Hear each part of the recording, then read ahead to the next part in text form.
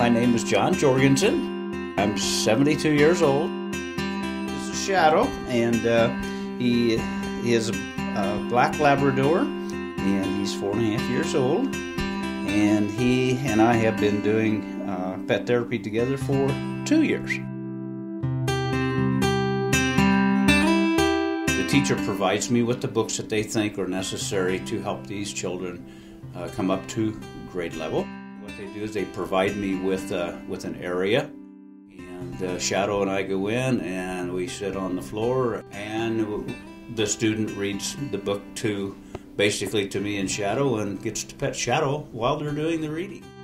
These kids are are very very shy. Appears as though they're more willing to to perform and take chances with their reading uh, with Shadow and me as opposed to maybe with the students in the classroom. Big big difference in the student. He uh, is is more in tune to the to the kids.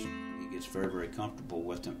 He doesn't mind their petting him, hugging him, and four or five kids, you know, in surrounding him, so to speak. But but I do notice that when we go to visit the elderly, uh, he's not quite as active for some reason or other. I think that he does know the difference between a child and an older person. One of the things that I've really uh, uh, found in visiting the nursing homes and assisted living is number one, most of the residents have had animals.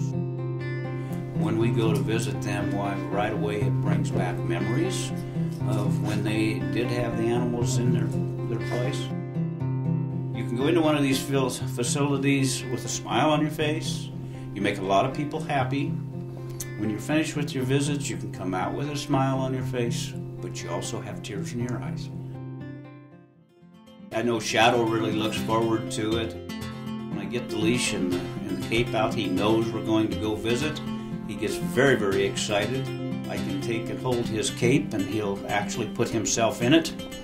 And when I go to stretch the strap around his stomach, he takes a deep breath so I don't have a problem. And then he heads for the front door.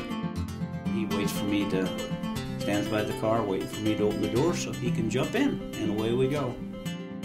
He gets excited about it, I get very excited about it.